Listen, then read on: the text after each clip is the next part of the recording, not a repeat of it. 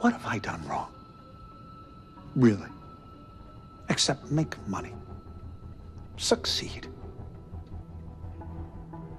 All these rules and regulations, arbitrary, chalked up by politicians for their own ends. And these fines you're always going after, where do they go? Who gets them? The poor? No, the Treasury, the government. It's taxation by other means. The fines are the minimum of what you should have to pay. Oh, you decide what cases to take, and you only take the cases you won't lose. But you got it wrong with me. Because this country was built on industry and competition. So they will always have a place for me.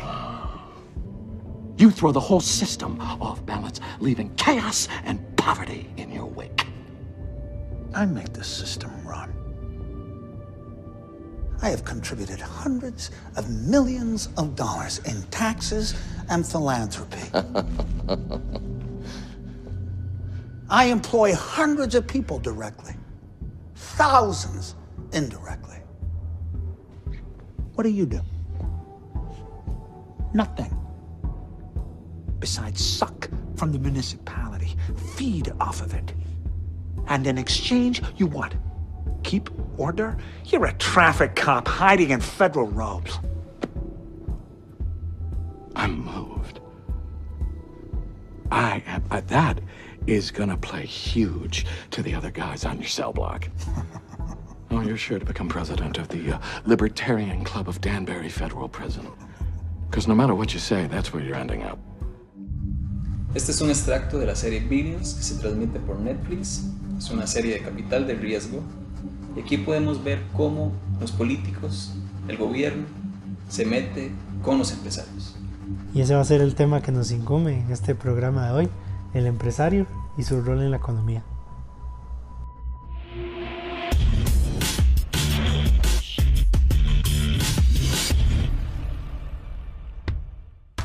Bienvenidos a nuestro segundo programa de la calle Viena. Es un placer que estén con nosotros.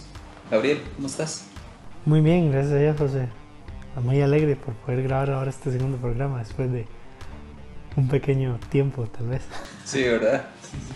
¿Y qué tema tan importante? Los empresarios y su rol en la economía, porque se han estigmatizado mucho, especialmente en los tiempos que vivimos actualmente, donde el capitalismo se le ha tirado, como decimos popularmente, y obviamente los que promulgan más eso, el motor del capitalismo, son los empresarios.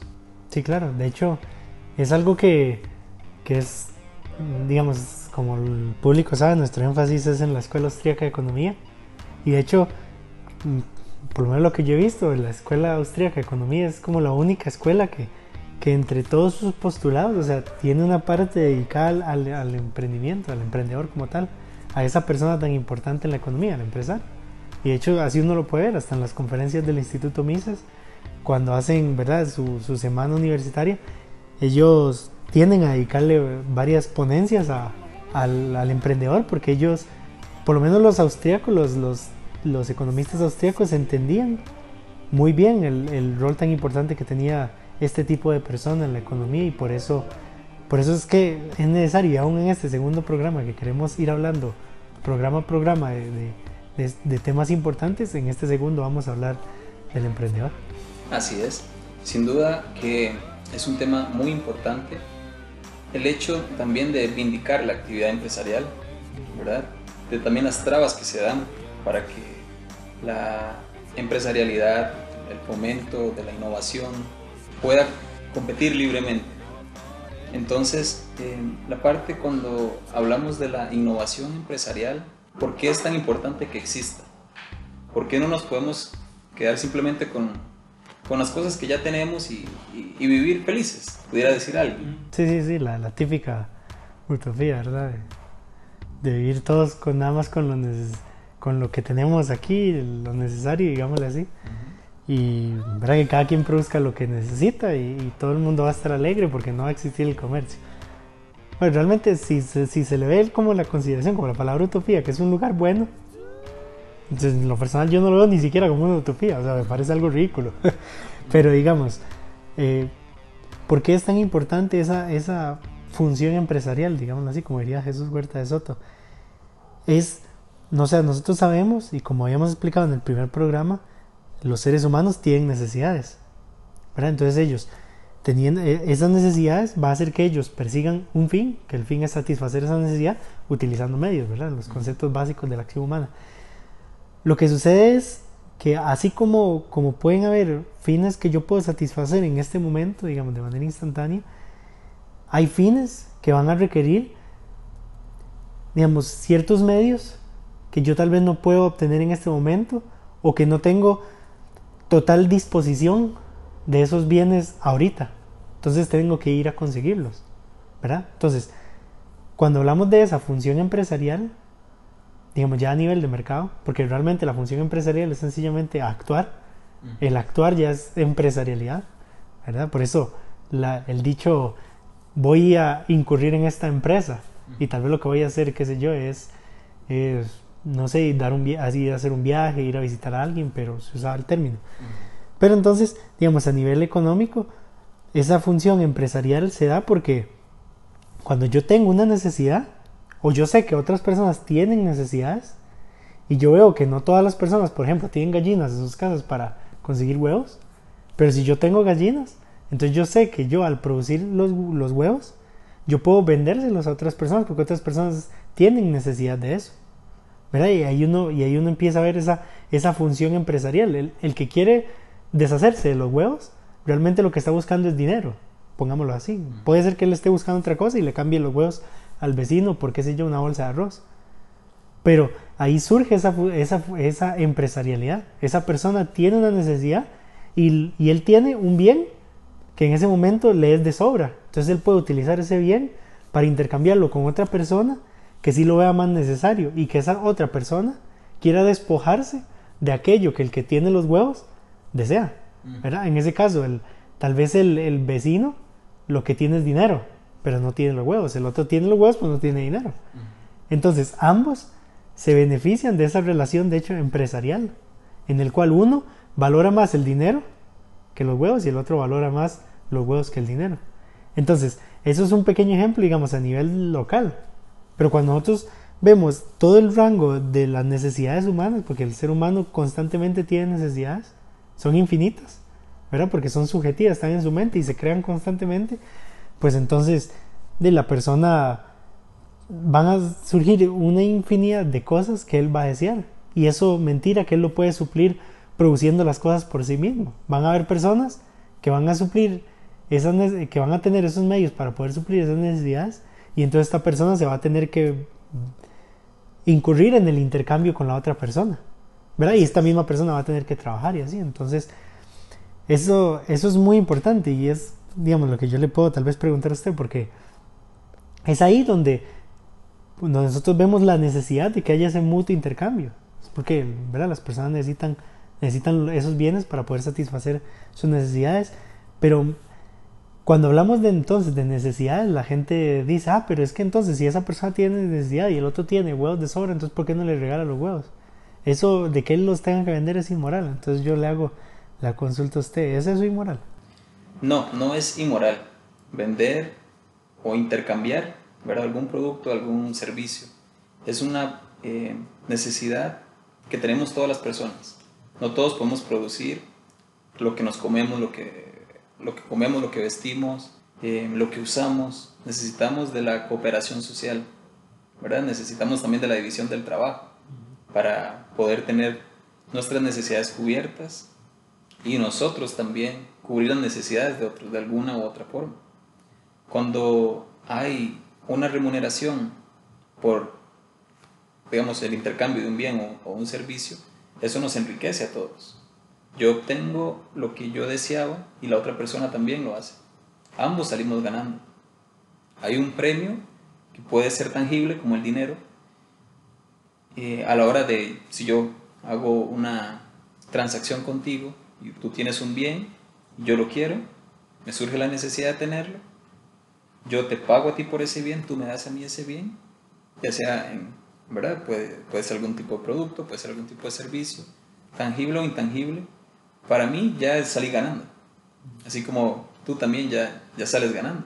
Yo obtengo lo que quería de ti, tú obtienes lo que querías de mí. Y así la cadena continúa. ¿Verdad? ¿Por qué? Porque encontramos valor en lo que vamos a adquirir. Y eh, puede ser valor monetario o valor en, objetos o en servicios. Entonces, más bien cada vez más vamos obteniendo eh, un, mayores niveles de utilidades, o sea, de felicidad a la hora de conseguir esas cosas. Entonces, desde ese punto de vista, no es inmoral, es moral y bueno. Cuando es inmoral es cuando yo tomo algo que robo. De ahí se aplica la inmoralidad, porque no es algo que yo fui y pagué, sino que yo fui, codicié la propiedad de mi propio. Sí, sí, no, y de hecho, es eso, al final es, es un ganar-ganar. Ambos están ganando. de hecho, es el requisito del comercio, que ambos ganen, porque si no, no se daría. ¿Verdad? Otro caso, alguien puede hablar de la caridad, eso es otra cosa. La caridad alguien va y lo regala y ambos se benefician, porque la caridad al final sigue siendo, digámoslo así, una transacción. No es como tal, porque la otra persona no me está dando nada, pero la persona que da la caridad está obteniendo alguna gratificación que él valora más que el dinero o lo que sea que le va a dar a la persona que está en necesidad. Mejor es dar que recibir. Sí, sí. Entonces siempre ahí ah, está ese ganar-ganar. Y como usted bien decía, o sea, ya la otra opción, que sería la parte inmoral, porque si esto es moral, entonces tiene que haber algo inmoral. Y eso sería entonces el robar. ¿Verdad? Es ahí donde está mal. Entonces, viéndolo así, o sea, cuando nosotros entendemos eso, que el, que el comercio es una relación en la que ambos ganan, ¿verdad? Y obviamente los empresarios están en esta tarea, ¿verdad? Estar proveyendo los bienes y los servicios que las personas necesitan. Entonces, ahí realmente, cuando uno ve el, panorama, uno puede ver que, que, realmente se le está haciendo un bien inmenso a la humanidad. Así es, así es. ¿Verdad? Entonces, eso, eso ya, solo es, solo esta, esta, ya solo esta pequeña parte del video, yo creo que ya es, es hasta cierto punto suficiente como para, como para empezar a, a quitarle toda la tierra que le tiran a estas personas, ¿verdad? A este tipo de personas. Porque a, mí me parece que, que, obviamente es, digamos, cuando, cuando hablamos mal de estas personas, es bueno a veces ponerse en los pies de ellos para poder entender el gran rol que ellos están haciendo, por lo menos a nivel económico. ¿Verdad? Al final ellos están haciendo mi vida más sencilla, vendiéndome una escoba para que yo no tenga que agarrar la basura con la mano, ¿me entiendes? ¿Verdad? Entonces, es, sumamente necesario su rol. Así es. De hecho, eh, Jesús Huerta de Soto, que antes mencionabas, ha hablado de por qué se le tira tanto al capitalismo, ¿verdad? Se le tira tanto a todo aquello que tenga que ver con actividad empresarial. Y él hablaba de Beltrán de, de Juvenel, que había hecho un artículo de, por qué, por ejemplo, los intelectuales, ¿verdad? La gente del sector artístico, de, ya sean actores de cine, eh, actores de teatro, eh, como yo mismo lo he escuchado, que es la parte donde me desenvuelvo en mi trabajo. Eh, escuchar a algunos de ellos hablar en contra del capitalismo, tirarle al capitalismo, pasearnos en el capitalismo. Pero uno los ve y tiene sus dispositivos electrónicos ¿verdad? de alta gama, tienen ropa, ya se han vacunado, tienen todos los medios y servicios a los cuales disponemos hoy. Y Beltrán de Juvenel hablaba de, de algunas características de por qué se odia tanto, ¿verdad? El sector empresarial. Incluso se traza desde la época griega. Se hablaba incluso desde eh, Platón, Aristóteles, odiando cualquier tipo de actividad empresarial. Como a todo aquello que oliera economía, ya era para ellos algo asqueroso. ¿verdad? Entonces, muchas muchas de, esos, eh, digamos, de, esos problemas de los cuales hoy encontramos en, la sociedad de hoy, ¿verdad? que está plenamente abastecida, todo bien y servicio, y es totalmente ingrata. Piensa que eso nace de los árboles, ¿verdad? O crece de la tierra. Eh, es parte de, eh, algunos de los, de los puntos que Beltrán de Juvenel citaba era la ignorancia. Son completamente ignorantes de los procesos de mercado no saben absolutamente nada de economía, son analfabetos económicos.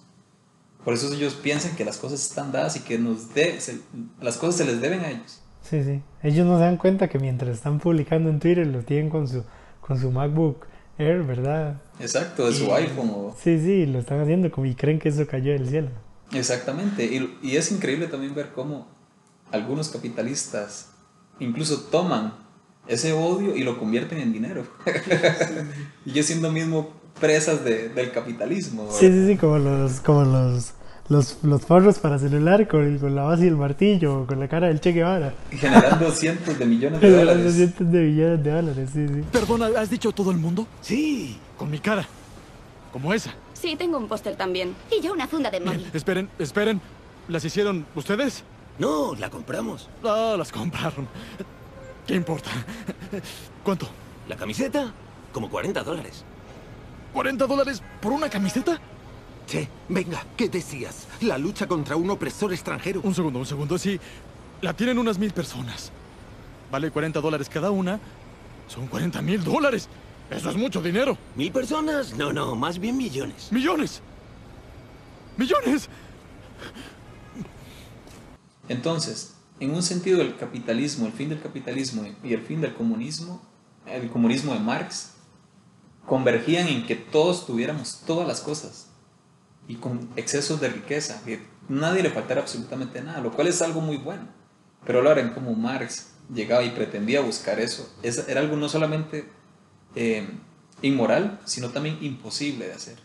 que solamente el único que ha logrado el ideal de Marx en sociedades donde se ha competido, no totalmente libre, lamentablemente, pero en su, en su gran mayoría, o alcanzando los niveles más altos de libertad, es donde realmente la riqueza ha sido fenomenal para, para ese pueblo donde se aplicó.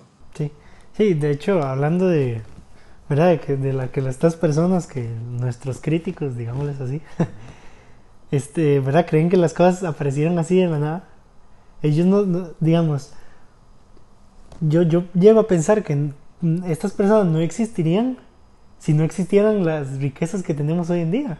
Así es. ¿Me entienden? Porque yo puedo pensar en que una persona está haciendo, está, de que una parte de la población es pobre y que la otra es rica, hasta que esté la riqueza. Si todos estamos pobres, yo no puedo pensar en un más allá de esa pobreza. Y eso, y otra vez aterrizándolo hacia el tema de los empresarios, esa es parte de su función. En economía, bueno, nosotros obviamente hablamos en términos de futuro, digamos como humanos hablamos de futuro como lo que está ah, adelante, por venir. Pero en economía la, idea de futuro es muy distinta.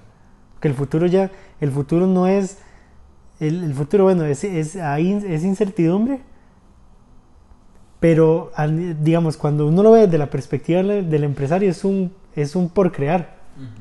O sea, el, el, empresario, por decirlo así, de hecho lo decía eh, Von el empresario, crea el futuro. ¿Me entiende? De hecho, hay una grabación de, de Von cuando se inventó el fonógrafo y él en, la, en, en, ese extracto habla de que, de que ese fonógrafo él no le dice nada del futuro, porque ya el fonógrafo estaba ahí. Pero lo que él lo hacía emocionarse y pensar era lo que los empresarios iban a llegar a pensar con respecto a esa idea y lo iban a crear. Entonces, por decirlo así, el empresario está moviéndose hacia el futuro. Él, él, ve una necesidad y él, bueno, a veces anticipa esa necesidad y ve en el futuro cómo poder suplirla y lo crea. Entonces, cuando ya la persona obtiene ese bien, ese iPhone del cual está publicando sus odios en contra del capitalismo, fue que unos empresarios vieron esa necesidad y la crearon. Ellos crearon el futuro y entonces Ahora nosotros podemos decir, mira, ahora tenemos el iPhone, ¿cómo qué habría pensado la gente en el pasado? Bueno, no lo pensaron, porque solo uno fue el que lo pensó y fue Steve Jobs. Él creó el futuro. Y ese futuro ahora es nuestro pasado, que es la compañía Apple, pero él, él la creó, él creó ese futuro. Entonces, vemos que, que esa función empresarial no es simplemente satisfacer las necesidades como tal meramente, sino que también tiene esa función de movernos hacia adelante. Ellos, ellos mueven la sociedad ¿verdad? Hacia, hacia el progreso, hacia el progreso económico. Y en el proceso también hacen que aquellos eh, productos o aquellas cosas que estaban, ¿verdad? Eh, como recursos en la naturaleza, que antes los obviamos, quizás en alguno de esos procesos de mercado donde se inventen nuevas cosas, esas eh, piedras que estaban por ahí, o verdad, esa agua que no se estaba usando, o lo que sea, que estaba en un recurso natural, ese petróleo o ese gas, ahora valga una cantidad impresionante, porque ahora tiene un valor. Antes no, por ejemplo, los indios caribe en Venezuela, ¿verdad? Ellos hacían un hueco para sembrar y salía petróleo. ¿Y por qué ahí no se inventó la Shell, verdad? ¿Por qué ahí no se inventó Standard Oil? Ahí Si tenían todo el petróleo, una de las ¿verdad? fuentes de petróleo más grandes del planeta. ¿Y por qué ahí no se inventó el motor a combustión interna, por ejemplo? Si tenían el petróleo ahí. No, porque la parte empresarial, es, el recurso primeramente está en la mente. Mm, Empieza por ahí. Empieza ahí, ¿verdad? No hay, eso es un, un tema aparte, pero tiene que ver con, con el sector empresarial, pero no hay recursos que se agoten. Es una también falacia económica, ¿verdad? Porque cuando eh, se habla mucho, ¿verdad? Que se agotan los recursos, de que hay que cuidar el planeta, esto y lo otro. No estamos hablando en contra de que no hay que cuidar el Sí, planeta. bien, Más bien los empresarios, ¿verdad? Son los que más eh, valor encuentran, por ejemplo, en hacer algún tipo de, de innovación y tienen que cuidar eso, ¿verdad? Que van a utilizar como materia prima para poder vender la innovación que hagan. Y entonces la, la mejor, el mejor manejo de esa, de esa materia prima es la que les va a, a dar mejores resultados. Entonces, ¿quiénes son los más interesados en cuidar eso? Los empresarios, ¿verdad? Para poder venderla. Sí, sí. De hecho, sí, hablando de eso de los recursos, porque, digamos, al- alguien puede malentender cuando decimos que los recursos no se agotan. Porque obviamente sabemos que todo en este mundo es escaso, hay escasez. Pero la cuestión, supongo que es ahí por donde usted va, es que, digamos, el, em- el empresario crea nuevos recursos, digámoslo así. Así es, así es. ¿Verdad? Es la creatividad empresarial la que es inagotable. Mm. Porque, por ejemplo, alguien puede decir, no, pero el, el petróleo se agota. Se le han puesto algunas fechas, ¿verdad? a Algunos yacimientos. En Medio Oriente, por ejemplo, ellos dijeron, nos va a durar 300 años el petróleo, todos los que son a la parte de los Emiratos Árabes. Solamente 300 años nos va a durar. Entonces, y la generación de hoy ve hacia el futuro, es impresionante, porque ellos saben que no van a durar 300 años vivos. Entonces, las familias de los jeques y demás empezaron a construir Dubai, la parte de los Emiratos, Qatar y demás, a convertir sus ciudades en ciudades, eh, ciudades turísticas, eh, futuristas, con edificios que nunca antes se habían creado, edificios redondos, eh, medias lunas, de todo tipo de cosas. Han puesto a prueba la mente también y la creatividad de arquitectos y demás. Los han sacado de sus, casi- de, de sus casillas, eh, ¿verdad? Eh, formales de hacer las cosas. Porque dicen, nos vamos a quedar en 300 años sin yacimientos petrolíferos. O nos vamos a quedar en 500 años sin yacimientos de gas. Tenemos que evocarnos hacia otro tipo de producción. Pero ese es el recurso que es inagotable. Porque sí, digamos, se puede ver desde la parte ¿verdad? fósil, eh, que se puede acabar el pe- el petróleo, por ejemplo. Pero los carros no van a dejar de moverse. Sí, sí porque, la- porque está la, la mente del empresario. Va a estar la gente que constantemente va a estar innovando.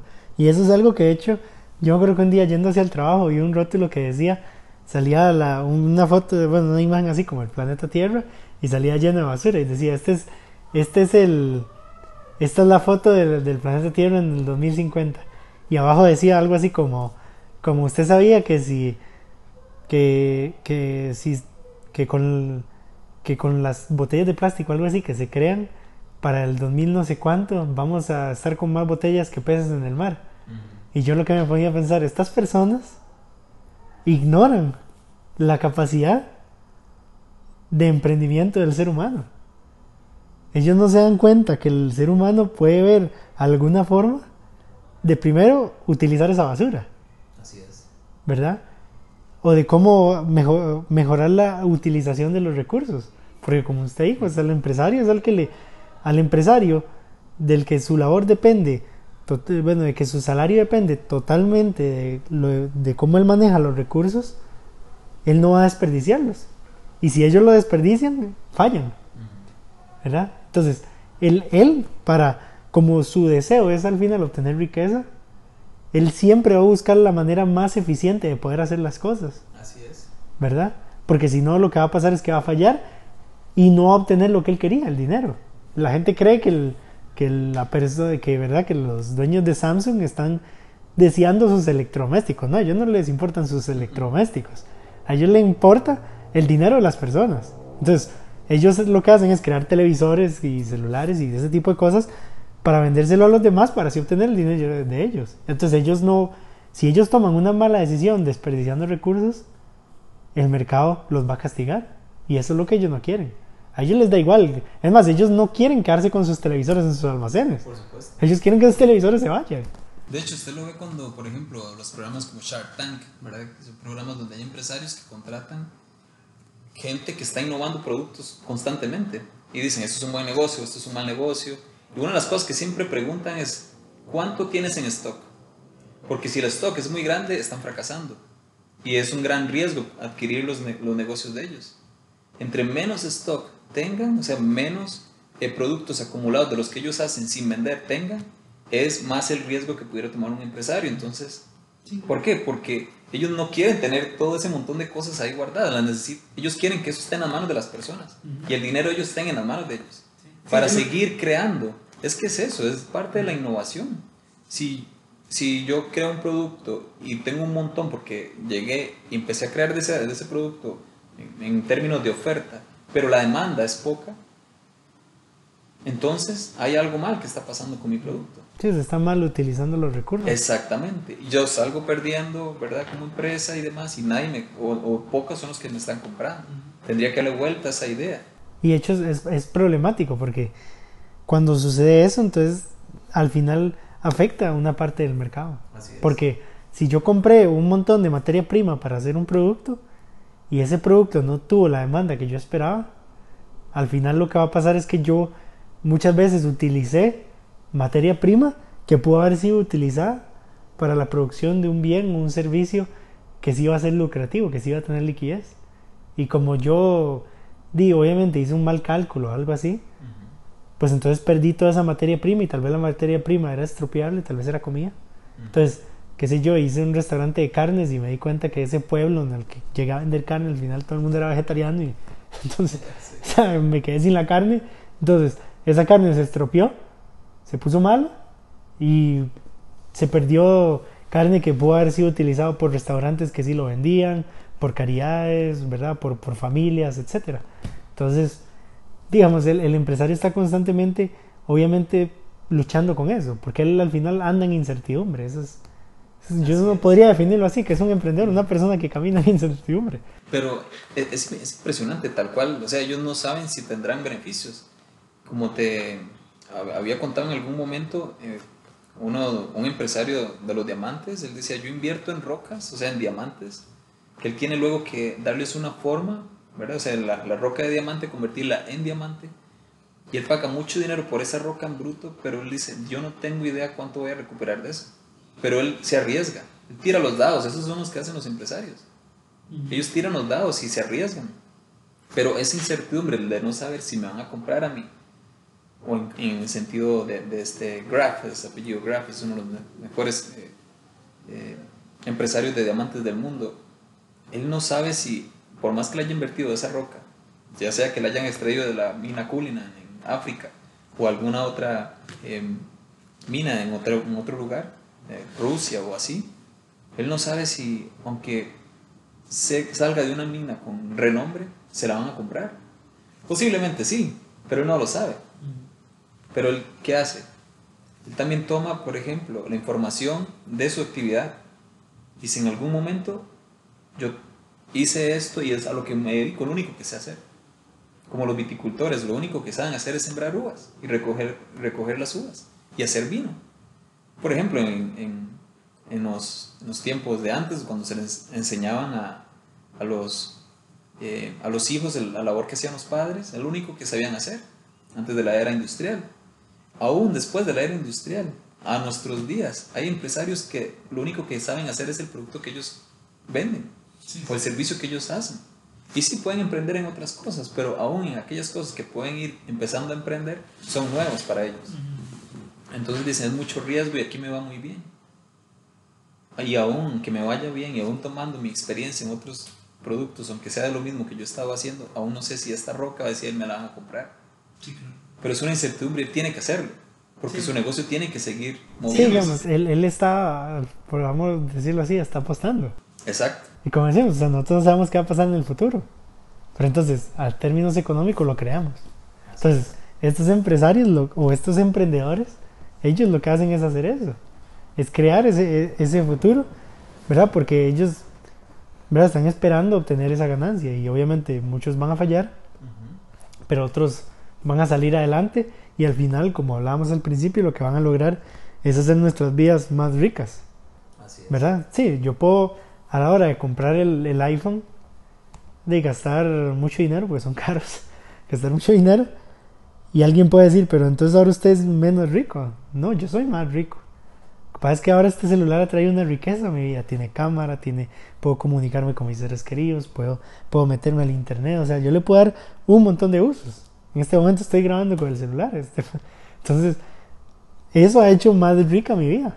Y entonces vale la cantidad de, de dinero que es el coste de oportunidad, como llamarían en economía. Es el coste de oportunidad, es el teléfono, lo que lo tuve que dejar. Pero, bueno, es el dinero para poder obtener el teléfono. Ese es el coste de oportunidad. Entonces, digamos, cuando uno lo, cuando, para ir, digamos, sumando todo esto y empezar a tratar con, ¿verdad? con más cosas de los mitos que la gente crea alrededor de ellos. Así uno ve entonces ellos no, ellos suplen, buscan suplir las necesidades de las personas, ¿verdad?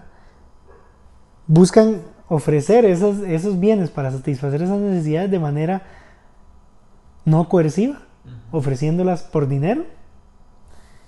Y tras de eso, ellos son los que crean ese futuro que nos hace a nosotros más ricos. Entonces, cuando uno ve esas tres cosas, ¿verdad? Un- Uno puede decir, ya de aquí, porque uno puede pensar mal de ellos, ¿verdad? Porque uno va a pensar de que el empresario, ¿verdad?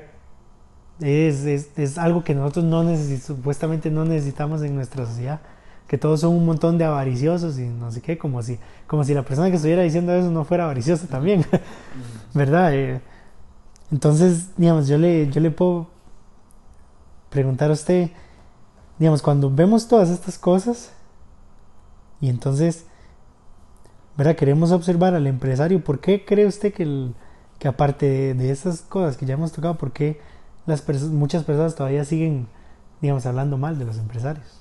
Sí, bueno, hay muchos empresarios que han ensuciado la actividad empresarial, sin duda alguna. Hay empresarios buenos y empresarios malos. En un ideal de libre mercado, el mismo mercado sacaría a los empresarios malos. De hecho, eso es lo que hace la crisis económica, cuando hay crisis económica, que muchas empresas salen del juego. Primeramente, no porque entre ellas mismas no pudieran competir. El principal problema de las empresas es el gobierno. Y cuando hablo de que algunos empresarios han ensuciado la actividad empresarial, me refiero a aquellos que se han unido al gobierno. Eh, aquellos que lo quieren más fácil son los que más rápido se unen al gobierno, para que les den a ellos eh, prohibiciones hacia otras personas que no les pongan competencia. De hecho, ahora que lo, que lo pienso, es muy complicado ver a un empresario que tenga el ideal de libre comercio, porque él sabe que tiene que ir a competir. Es, es, es difícil porque en su mente, si fuera posible, él quisiera que solamente su negocio prosperara y no tener competencia. Por eso es, es muy raro ver a un empresario también tener o abrazar la, la ideología del libre mercado, porque él sabe que si no compite bien, si él no sirve a su prójimo con bienes de mejor calidad a un mejor precio, él sale del juego. ¿Y cómo él sale del juego? ¿Cómo él sale del comercio? Porque la gente no va a comprarlo. Va a preferir a su competencia. Entonces, por eso no es de extrañar de que los empresarios quieran aliarse con el gobierno para que les prohíba a otros competir con ellos. El gobierno está en contra también de los monopolios, pero ellos sí pueden tener monopolios. Sí, ellos son los primeros en crearlos. De hecho, nuestro propio presidente de la República, Carlos Alvarado, ha dicho que le conviene al Estado tener monopolios. Por ejemplo, él, habla del monopolio del ICE, él habla del monopolio Recope, y claramente lo ha dicho en entrevistas.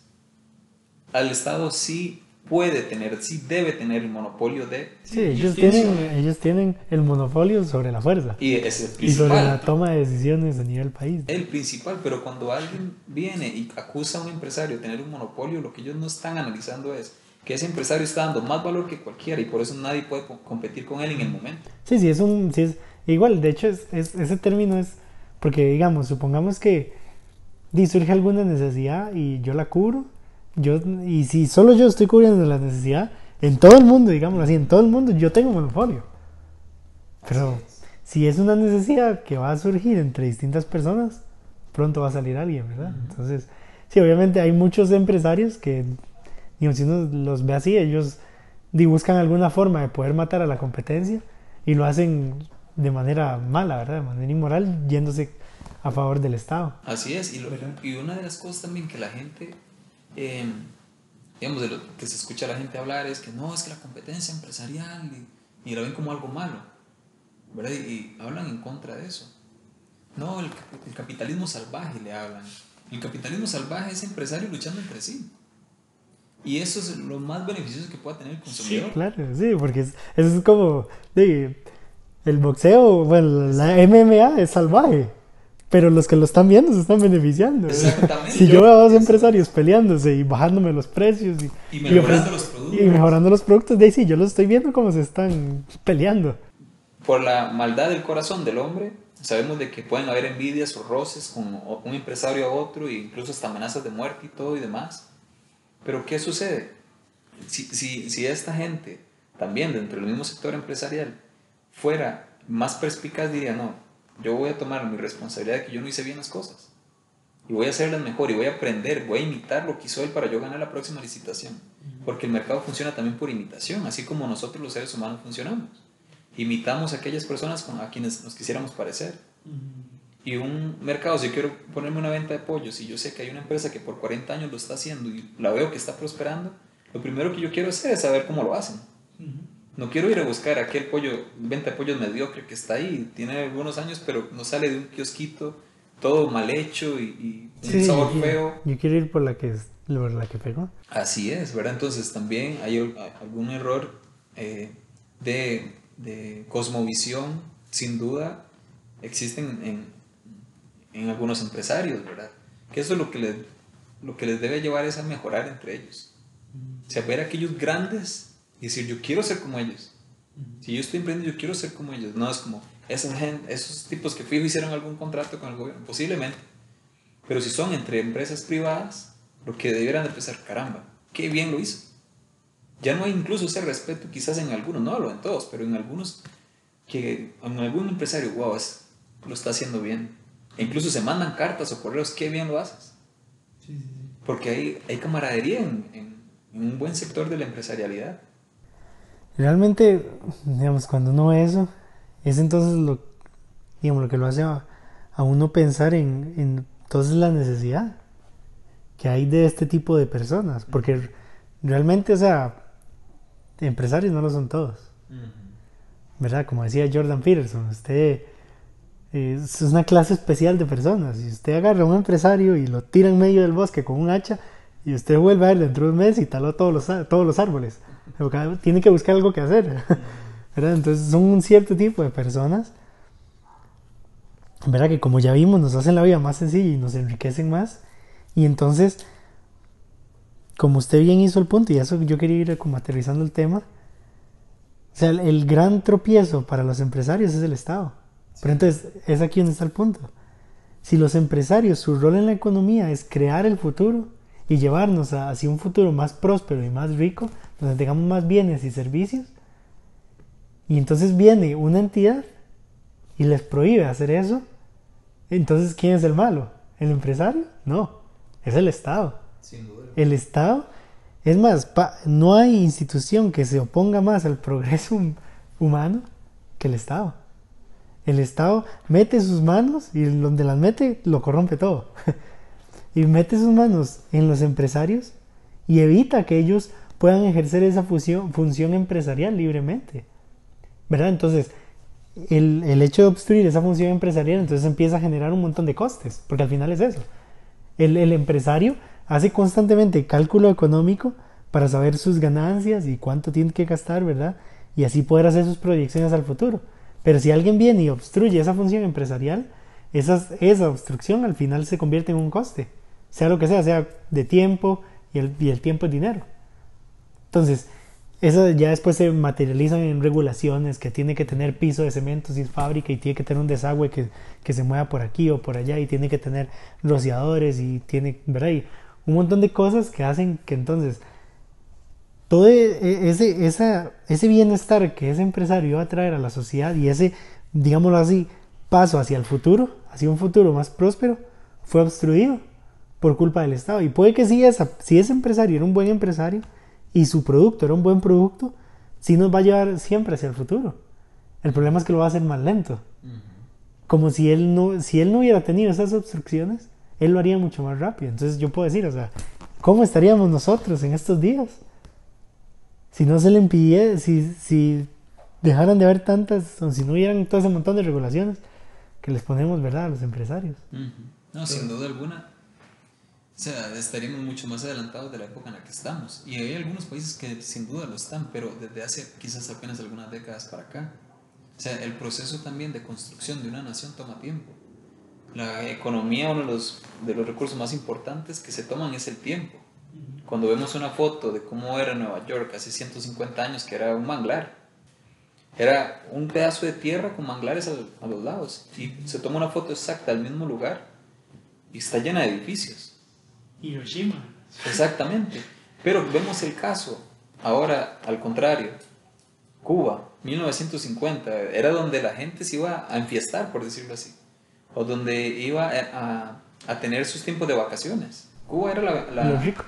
Sí, Sí, la- era, era Las Vegas de antes. Sí, era Las Vegas de antes. Era Las Vegas de antes, era como la ciudad del juego para ellos, donde se iban a desestresar y demás. Eh, la parte moral de sus juegos no lo tocamos en este tema, pero obviamente les daba a, ese tipo de, de personas algún incentivo para ir a despejarse. Obviamente llena de locales, llena de comercios, llena de mercados, ofrecían de todo tipo de, de- de bienes y servicios.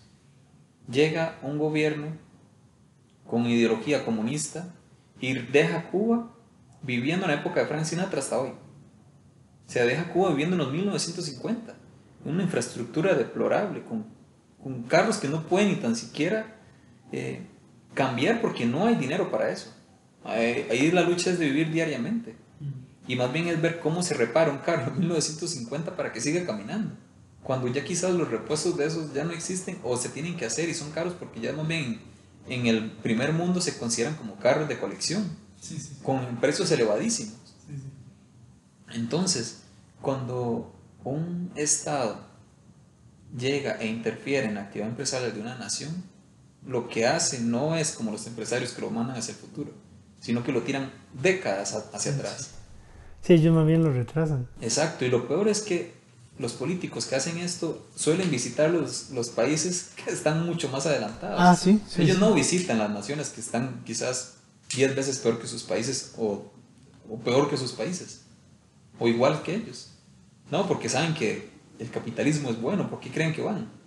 ¿Por qué creen que en, en, en una reunión que hubo en la Unión Soviética estaba Fidel Castro con dos Rolex en sus manos? Uno para ver el tiempo de Cuba y otro para ver el tiempo la- de Rusia.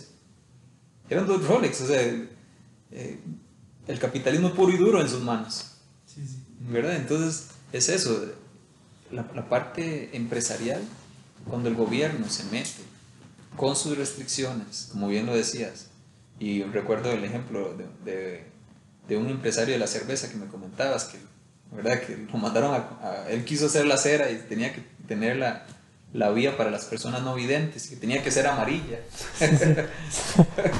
Sí, sí. específicamente. Y, y si no era así, tenía que destruir la acera. O no, o no podía hacerla cuando él tenía toda la intención de sus propios recursos hacer una acera. Y e- e- Es, increíble, o sea, a ellos no les gusta.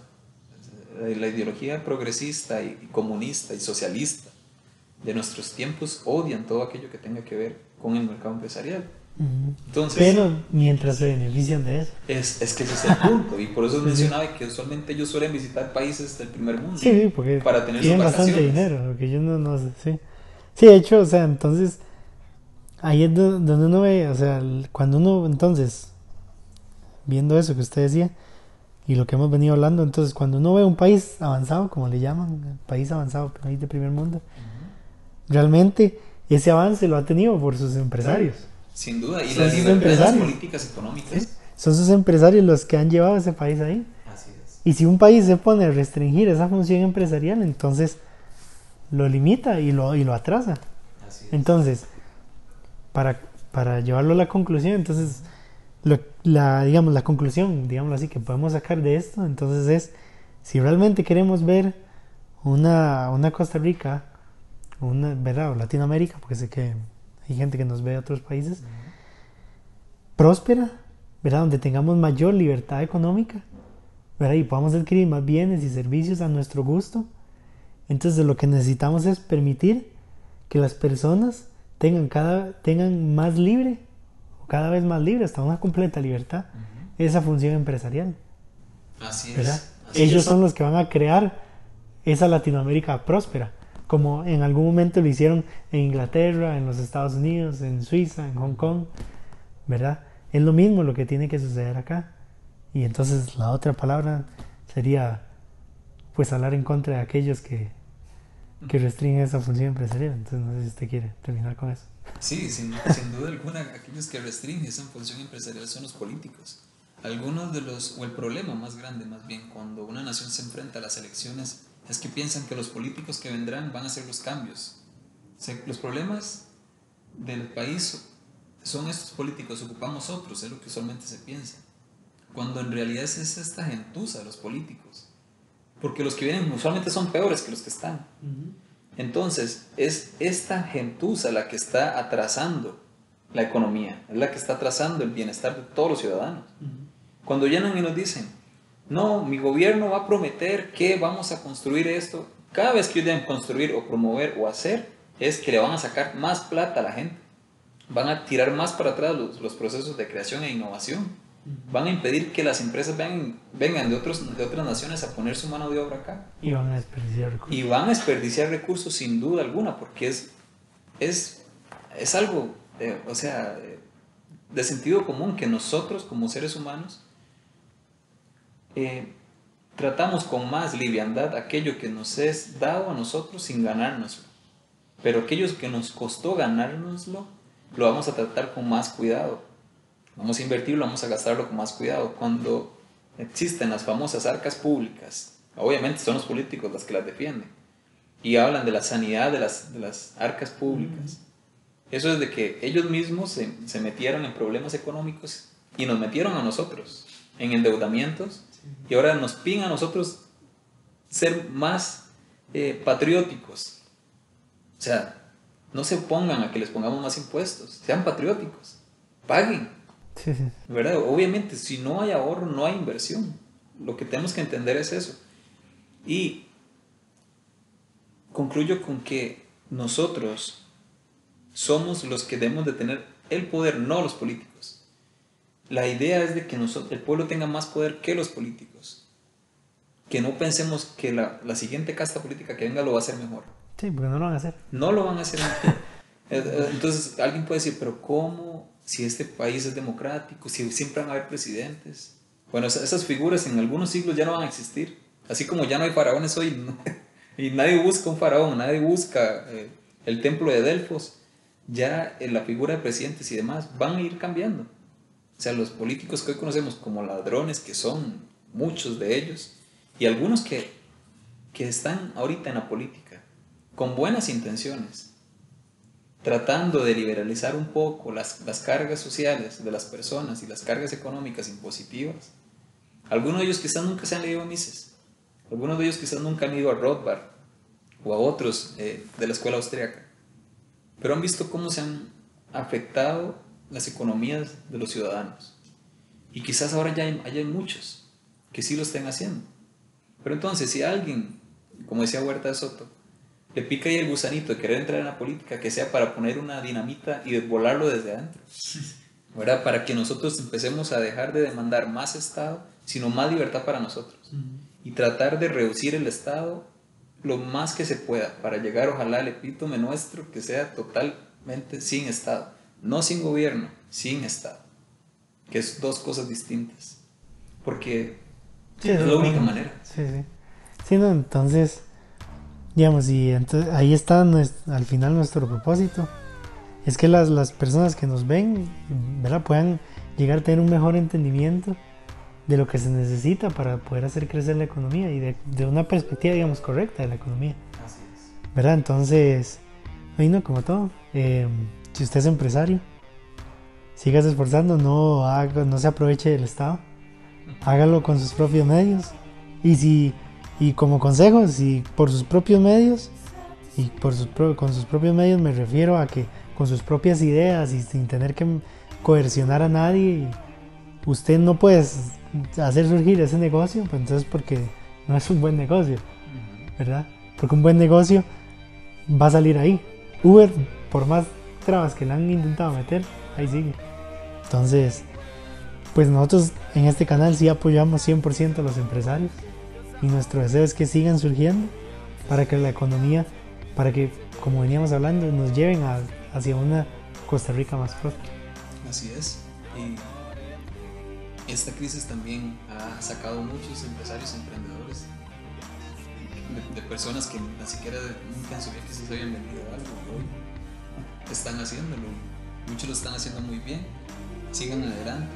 Nosotros en algún momento iremos a emprender también algunos proyectos para también servir con el ejemplo de lo que hiciéramos y entonces a, todos ustedes que, que nos puedan estar escuchando y que esta crisis ha hecho que ustedes estén y entren en la función empresarial, sigan adelante, hagan un bien sirvan al prójimo con bienes de mejor calidad, mejor precio.